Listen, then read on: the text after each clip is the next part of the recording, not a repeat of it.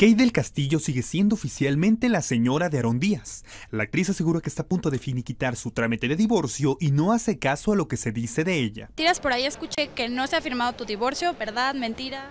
No, está firmado, lo que pasa es que todavía no ha sido oficial, eh, ya eh, está en trámite eh, y ya dentro de poco supongo ya que va a salir ya oficialmente que ya estamos divorciados. Si los medios fueran parte de mi vida personal, si los tomara yo en cuenta de todas las mentiras que dicen o, las cosas no que dicen de, mis parejas, imagínate, no, no, no sería yo muy tonta si dejo que eso se meta en mi relación, ¿no?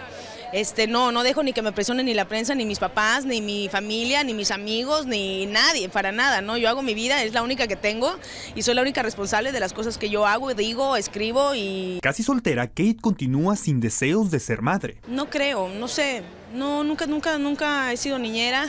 Olvídate de niñera, ¿no? Soy niñera, puedo ser niñera, pero nunca he tenido esa ya me lo han preguntado muchas veces y no sé, a lo mejor eso pienso ahorita, a lo mejor más adelante, que tampoco me queda mucho tiempo, pero este, a lo mejor más adelante sí se me antoja, ¿no? Pero hasta ahorita, hoy en día, no se me ha antojado tener hijos.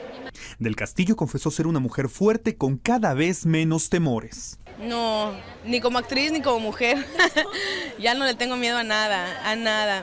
No, tal vez le tengo un poco de miedo a mi familia estando en México y, y a la violencia, ¿no? Un poco eso, pero en cuanto a mí se refiere, no, creo que no, no, un poquito a las arañas. bueno, un muchito, la verdad, pero, pero fuera de eso no le tengo miedo a nada.